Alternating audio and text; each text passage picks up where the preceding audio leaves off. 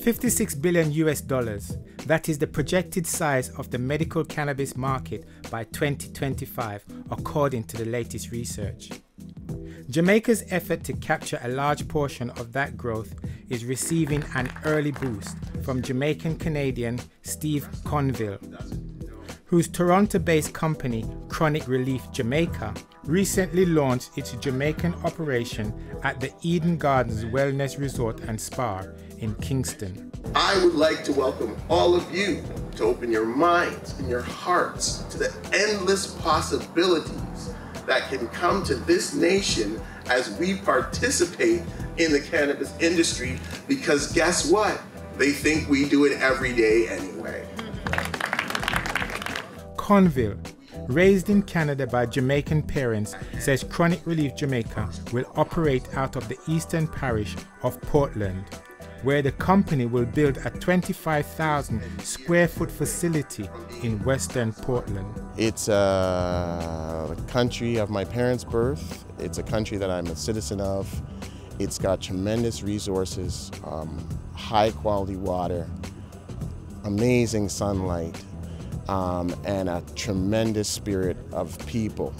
Um, but also, it's a, it's a nation that has, for so many years, been considered synonymous with uh, cannabis.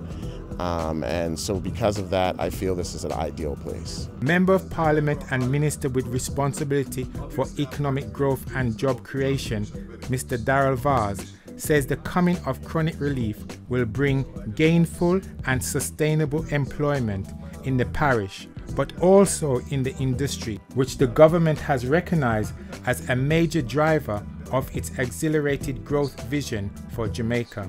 We are making slow but steady progress in positioning the country to benefit from this potentially huge industry, and we want to keep the momentum going. Kronic Relief Jamaica will bring their own expertise to the mix, including the construction of a 250,000 square foot facility in Portland. In my dual capacity as Minister as, and Member of Parliament for West Portland, obviously I'm particularly pleased about the job creation benefits of this initiative for the parish.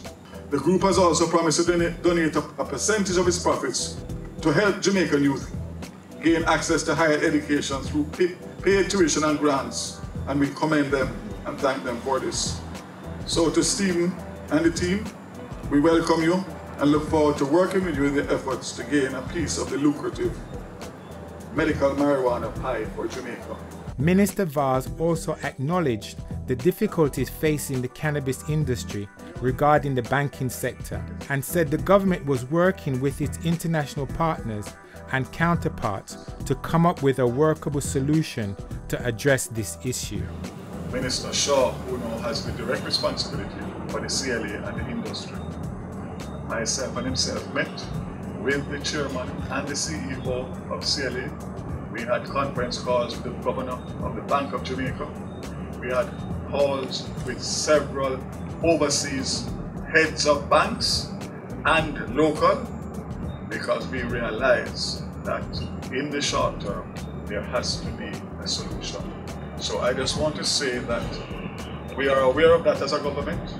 The cabinet has mandated the governor of the Bank of Jamaica to pursue relentlessly a solution. We know what the restrictions are, some of which we have no control over, but one thing is for sure, we have this industry as a serious growth industry, growth for jobs, growth for GDP, growth for everything. And we are going to be on it, and I can assure you that we will work assiduously to get a solution in the shortest possible time.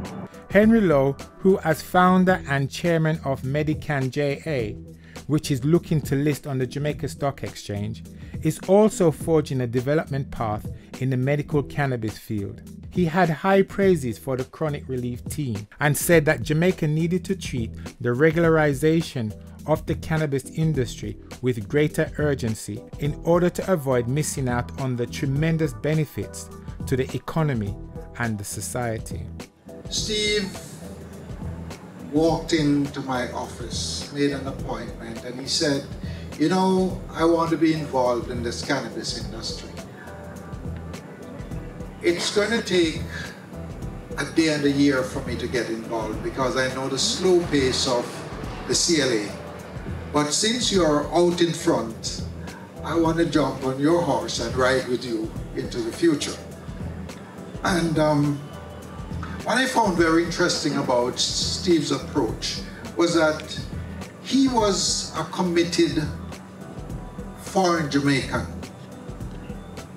Uh, he said he didn't want to be regarded as diaspora, but really a Jamaican living in Canada. But he wanted to bring whatever expertise and money that he could to invest in Jamaica. Once operational, Kronic Relief will be producing and distributing a wide range of cannabis derived products, from tropical applications for pain relief, currently the largest segment of the market, as well as personal care products and edibles. I'm truly most looking forward to producing like a lot of topical creams, a lot of like digestible, uh, orally input medicines is like, you know, we have an aging population, uh, arthritis, osteoarthritis, all these things, they're on the rise. And in my own personal experience, I've seen this plant help a lot of people with these problems.